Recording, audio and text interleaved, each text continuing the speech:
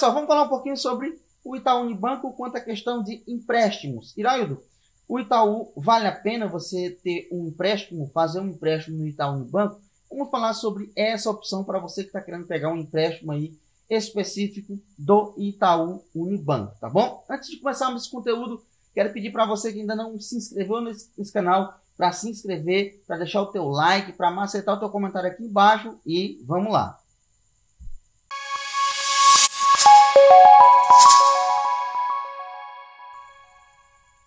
Galera, bora lá falar um pouquinho sobre empréstimos no Itaú. Eu já começo de cara falando que não é a melhor opção para empréstimo. Não tem as melhores taxas de juros para você. Eu continuo dizendo que as melhores taxas de juros ainda se encontram no, na Caixa Econômica Federal. Para mim é uma das instituições melhores. E Banco Digital, a gente tem aí o Nubank, que dependendo do tipo de pessoa tem uma taxa muito boa, dependendo da pessoa, não é para todo mundo. E o C6 também, que quando dava empréstimo tinha uns, umas pessoas que tinham uma taxa muito boa. Olha só, o senhor do Itaú, o Milton Maluhai, ou Malurri, não sei como é que se pronuncia o nome desse cara, ele falou que 2024 está um ano propício para o empréstimo, tá? Principalmente, ele não falou propício, ele falou benigno, né?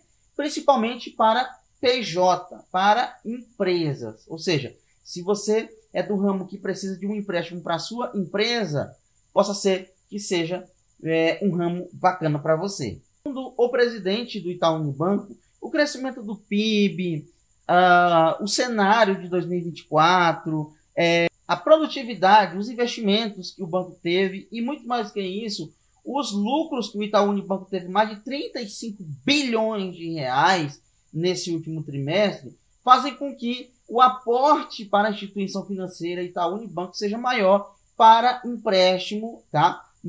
Eu não estou falando aqui das pessoas físicas, porque não é todo mundo que tem a opção de empréstimo. Mas é aquela questão que eu sempre falo: se você quer trabalhar com uma empresa, para que essa empresa, com o banco na realidade, para que esse banco ele te forneça um empréstimo, tá? PJ, então o Itaú Unibanco é uma das instituições que está cheia de dinheiro e que tem um aporte financeiro muito grande e que está a fim de colocar esses valores aí para, sei lá, no próximo trimestre lucrar muito mais. Para você ter uma ideia, segundo o Infomoney, a, a carteira de crédito de grandes empresas do Banco Itaú estavam baseado aí na casa dos 374,8 bilhões de reais ao final do último mês de dezembro, tá? No último, sei lá, basicamente há quase três meses atrás com crescimento de 8,7% no quarto trimestre de 2023 na comparação anual. Ou seja, o Itaú está cheio de dinheiro para investir né, nessas empresas e também em pessoas que querem aí esse empréstimo né, e tem condição de pagar também. Isso que o crédito vai estar fácil para ser concedido no Itaú. Não, não estou falando isso. Eu estou falando que a instituição ela tem aporte financeiro para estar bancando essa questão de empréstimo. Iraldo, por que empréstimo ao invés de cartão de crédito? Eu já falei aqui um milhão de vezes. São dois tipos de linhas de crédito: cartão de crédito e empréstimo. Tá? E se você acha que os juros do cartão de crédito já são abusivos, que são bastante altos, a instituição, no caso bancos, eles não são tão a favor do crédito. Porque mesmo tendo um juro rotativo muito alto, o cartão de crédito, os bancos não acham é, tão relevante a questão do cartão de crédito. Por quê?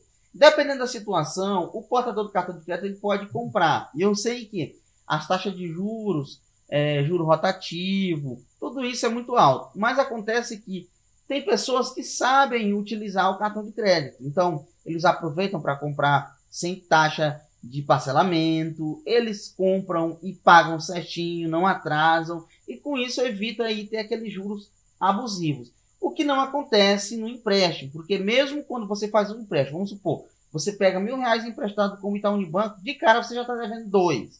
Então aí a instituição, pela alta taxa de juros do nosso país em si, já lucra aí mais de 100% em cima do valor que ele investiu. Ou seja, se eles têm um aporte de mais de 300 bilhões de reais e, e se eles emprestam esse, esses valores e recebem todos esses valores, é claro que eles vão faturar aí pelo menos o dobro, tá, gente? Então, são 373, vamos arredondar para 300, então ele vai dobrar para mais de 600 milhões de reais.